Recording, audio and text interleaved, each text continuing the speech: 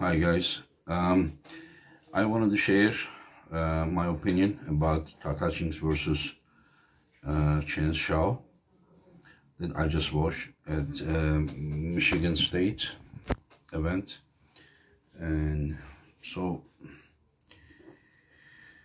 I knew that Chance had uh, potential to uh, beat Todd with the right preparation and I think I thought that his playing style would fit uh, would serve the best way to beat Hutchings. There, there are I mean not so many options to beat this guy. And in my opinion uh, you need to like just taking Todd's wrist uh, without controlling his pronator um, is not always enough most of times enough so I think that one needs to really control Todd's pronator and his wrist at the same time you know then then it's because you can't really match his side pressure. His side pressure does not allow you to um, keep your hand you know inside of your arm resting shoulder you know he always takes you here with that pressure so that that the root of the pressure is coming from his body you know his shoulder back shoulder rear shoulders, you know, that way. So once you turn here, the pronator, so this is becoming less effective unless he hooks you. But as I said, if you control here and here at the same time, then you are going to, you are still not going to enable him to apply side pressure, but I think that you are going to reduce his uh, pressure maybe by 50% and then I mean if you are not so weak then you're gonna you're gonna beat him. Um, I saw the first round. They both choose to go to strap. And Chance pronator was strong enough to take Todd's wrist and then he even came to do little bit winning position started as far as I remember because I watched live, we didn't watch again. And he brought him here. And whenever he hit, his wrist also didn't really have super uh, control over uh, Todd's pronator. I think where he where Chance got the foul, the announcer of the match was thinking that like if if Chance didn't foul, he was going to win it didn't seem to me that way, you know. Eh, it seemed to me Chance had the control, but couldn't go after a point. This is how I saw when I was watching live. And after that round, Chance realized he should keep uh, Todd um, outside of the strap. He didn't try to sleep and Todd just continue pulling without trying to sleep. And that that was some tough battle there some you know tough battle. There were some fouls for each side. Uh, it, it seemed like it seemed like as I said that uh, Chance was trying to control the pronator it wasn't so hard without the strap chance to take Todd's wrist. But he realized that more he pronated, more he missed the pronator arm of uh, Todd. And Todd was putting the pressure with the like a pronated forearm, almost dead wrist. And the more Chance wanted to stop that, that, that pressure with his wrist, then more he involved his wrist, then he started losing his uh, pronator this time, and in the hook, it was Todd was like a wall. Um, yeah, as I said, you know, in my opinion, if you want to beat Todd, you need to be able to control his wrist and pronator at the same time that way he will not be able to use his max side pressure.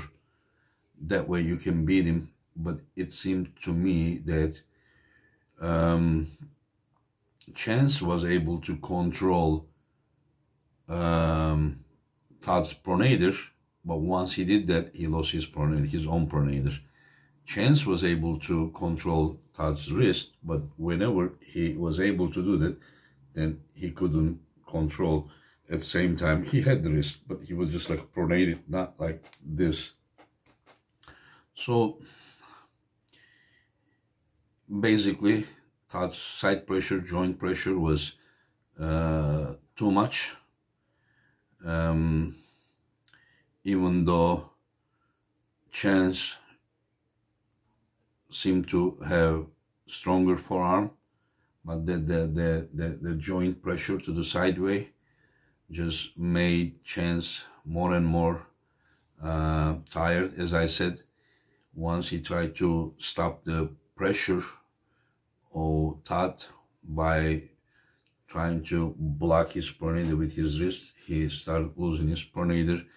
And then whenever he wanted to like fully take the hand, then then he took the hand, but now Todd was applying incredible side pressure since there was no resistance from his wrist to his shoulder. Only, only his hand was having the pressure, but he had everything. You know, he was applying. It was just too much. So I think, I think Chance has um, technical ability to, to uh, apply what I say, but today was too early for him. Maybe in the future he can do that.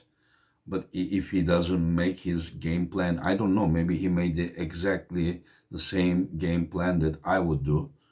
Um, um, but you know, it doesn't matter. You know what what what plan you make. You know, if if you are not strong or coordinated enough, it's not going to work. You know, I also know, in my opinion, how to beat Todd, but as long as I cannot, you know, do what's necessary, you will look like you didn't do a good homework, but actually, maybe you did it, you know, but, but there, you are not strong enough, but you look like you're not strong enough and you look like, um, even technically, you didn't do what's necessary. So I don't know, it was the best chance could do, in a technical way or is it because he wasn't strong enough? I don't know if this was his like main game plan. That's why i think that it will be very hard for Irakli to beat Todd as well you know.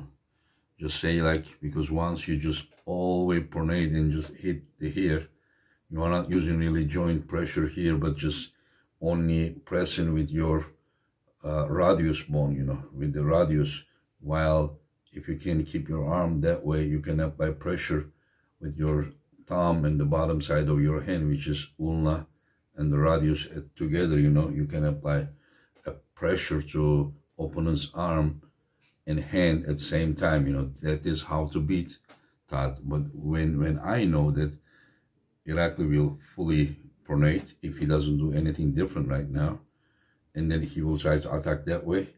So it will not be so much joint but just so much muscle you know while Todd will be putting all his joint pressure.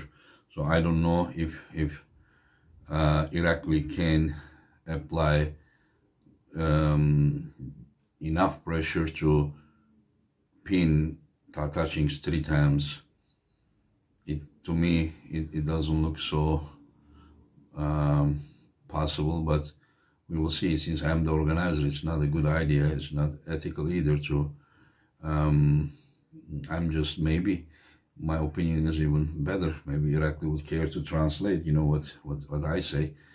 I mean, I'm not saying that I know better than he does, but that, that is what I realize, you know, whenever I watch Todd Hutchings, you really need to control that guy's pronators, you know just to make his palm look that way so he can he can apply so much um, side pressure okay anyway so this was the uh, one of the uh, uh, best super matches of today. The others will be in the, I don't know if I'm missing any other event all around the world, but um, I watched this one and then soon I will watch the King of the Table 3 with all those great super matches and I will try to share my um, opinion about that as well. You know, you all take care.